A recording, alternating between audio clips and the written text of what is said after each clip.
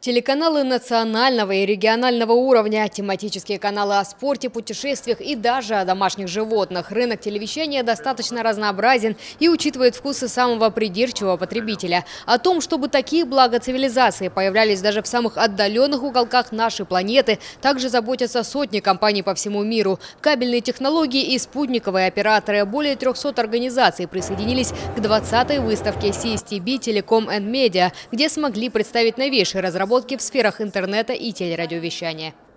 CSTP сегодня это главное индустриальное событие в области телевидения и телекоммуникации.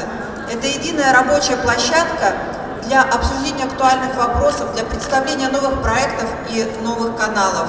За эти 20 лет э, выставке CSTB удалось э, сохранить самое главное, что бывает в таких мероприятиях, это возможность, когда лицом к лицу встречаются в обычной жизни не просто коллеги и конкуренты, да, а люди, которые э, решают, какой будет вся отрасль в ближайшее время, CSTV прекрасная возможность еще раз всем увидеться, пообщаться, поговорить, сверить часы, посмотреть, куда движется вся индустрия. Международная выставка «Форум CSTB Телеком и Медиа» в 20-й юбилейный раз становится местом притяжения для специалистов в области телевидения и коммуникаций. Одной из актуальных тем форума станут спутниковые технологии связи и их применение на российском рынке. Неизменным участником выставки является компания «Газпром Космические системы», российский спутниковый оператор, телекоммуникационный центр которого расположен в Подмосковье, городе Щелково.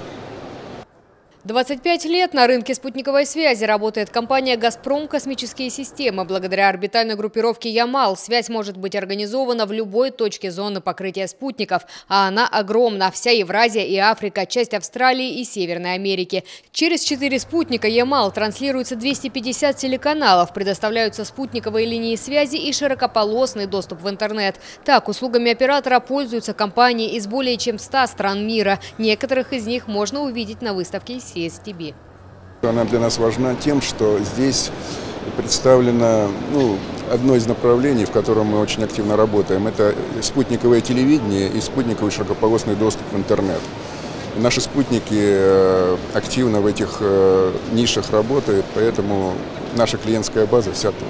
Это позволяет нам вести здесь диалог на площадке этой выставки с операторами региональными телерадиовещания, с самими вещателями, э, с представителями частных телеканалов. Смотрим, в какие технологии они собираются идти, подтягиваемся к ним обязательно, может даже работаем с опережением, чтобы удовлетворить любые их желания и чаяния в развитии бизнеса. Пользуются услугами отечественного оператора и другие крупные компании отрасли. Так, например, французская компания Utelsat, занимающая лидирующее место в мире среди спутниковых операторов, планирует приобрести ресурс спутника Ямал-402 для оказания услуг в Северной Африке. Однако одним из самых актуальных направлений деятельности «Газпром Космические системы», представленных на этой выставке, стал широкополосный доступ в интернет. С 2015 года компания начала оказывать услуги спутникового доступа во всемирную паутину индивидуальных индивидуальным пользователям и малому бизнесу. Будь то дачный участок в России или офис где-нибудь в Африке, небольшая спутниковая тарелка способна обеспечить приличную информационную скорость в любой точке зоны покрытия спутников Ямал. Благодаря вот этой антенне 0,75 метра а, пользователь может навестись на спутник и, соответственно, получить спутниковый интернет со скоростью 20 мегабит в секунду на прием и мегабит в секунду обратно на дачу, на спутник.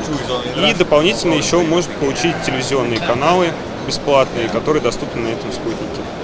2018 год компания связывает с дальнейшим развитием спутниковой группировки. Полным ходом идет строительство космического аппарата нового поколения Ямал-601, который заменит на орбите ветерана отрасли Ямал-202. Новый спутник не только примет на себя многонациональную клиентскую базу своего предшественника, но и даст мощный импульс развитию бизнеса компании по предоставлению массовых широкополосных услуг в России.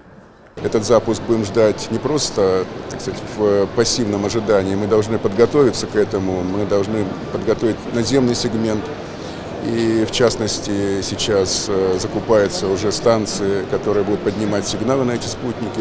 Такое расширение космической и наземной инфраструктуры не единственное в планах компании на этот год. Так, в ближайшие пару месяцев будет завершен проектный этап создания сборочного производства космических аппаратов. Александра Гранич, Александр Аржевский, телерадиокомпания «Щелково».